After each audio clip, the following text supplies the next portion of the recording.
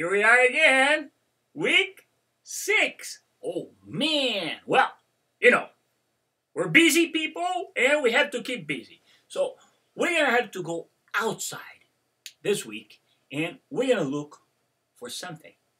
Now, I'm gonna go, I'm gonna look for my initial into something.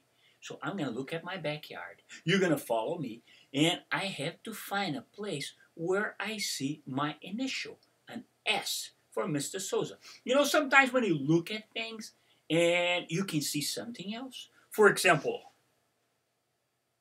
I got Wood Jr. here with me. Yes, he came in. So he's here. The rest of the Wood family is still in Hillside, so they're doing social distancing. Okay, well, anyway, Wood Jr. is here. And if I look at Wood Jr. now, what letter do you think he looks like? Huh? What letter is that? Doesn't that remind you of a letter?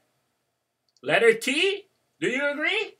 Letter T, right? So you see, sometimes we look at things and we see other things. So that's the work of an artist. And as artists, we have to do this sometimes. So your work for this week is grab a phone, okay, or a camera if you have it, from mom and dad, or if you have your own, or an iPod or an iPad.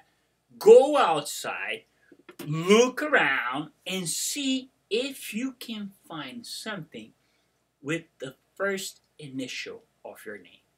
If you feel like very brave and I want to look for everything, okay, and you can find your whole name, that's fine. But at least the initial. Some letters are very hard, okay? Like letter S is not easy for Mr. Souza, but I'm gonna have to find something with letter S. And I bet you that I will because I'm gonna look all over the place. Okay? Alright, so let's go outside, get your camera.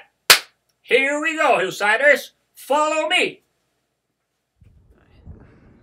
Okay, Hillsiders, we have, I mean you have, because I'm gonna find something with my initials, so you have to find something with your initials. So I'm gonna look around.